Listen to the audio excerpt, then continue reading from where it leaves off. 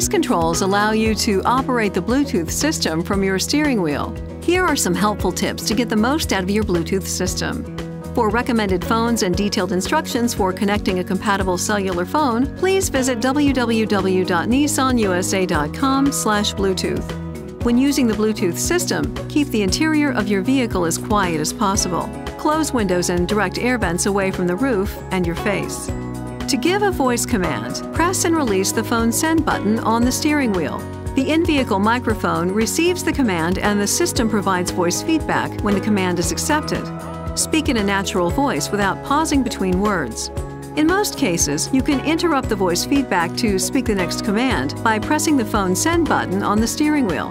The help command can be used to hear a list of available commands anytime. When speaking phone book names, please be aware that some phones require the last name to be spoken before the first name. For example, Michael Smith may be spoken as Smith Michael. Use single digits when speaking phone numbers. For example, 500 should be spoken as 500. To increase or decrease the volume of the phone prompts, push the plus or minus volume control switches on the steering wheel, or turn the volume control dial on the audio system if in operation. To cancel a voice recognition session, say Cancel, Quit, or press and hold the phone End button.